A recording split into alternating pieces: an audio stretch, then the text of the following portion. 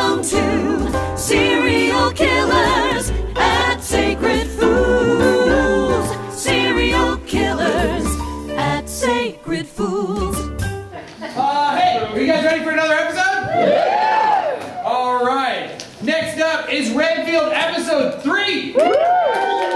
It is written by Bob DeRosa. And directed by the one and only Ben Rock. Uh, so, ladies and gentlemen, let's give it up. Episode three, Renfield. Everyone has a destiny. Hers is just written in blood.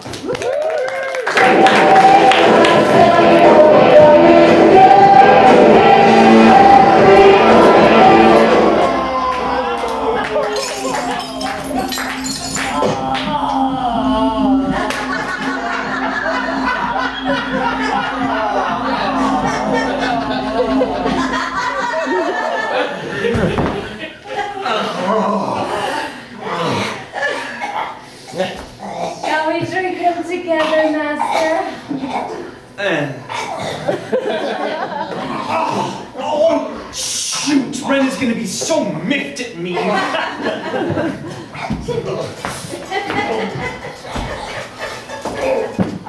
Hello? Pierce, I'm sorry to keep you waiting, but it's really dark in here and I can't find Ren, out. Ren, Ren, I have news. Uh, What happened? I, what you said. I wooed someone just with my natural charisma. It Okay. was electrifying. Who did you... It was, it was the police officer, the, the oblong one. No! Pierce, where's his partner? He's, uh, uh.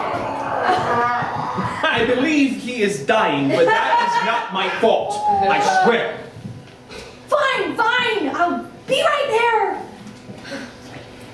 Now, where am I? I can't... Is this a library or...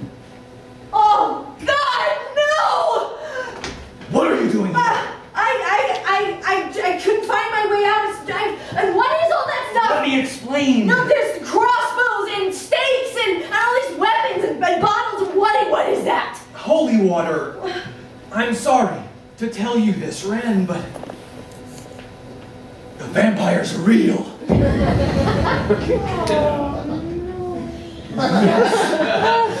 and I've spent my life training, preparing to hunt and kill them. My great, great, great, great great grandfather was the first vampire killer. And I was born to carry on his work. That's why I'm proud to have his last name Van Helsing. So you came to LA to do Dracul, Great. the lord of all vampires, lives somewhere in LA. I've been hunting him, but to no avail. I'm getting close, though. I can feel it. And when I find him, I'm going to kill him. Is that your boss? Mm-hmm. Well, tell him I said hi.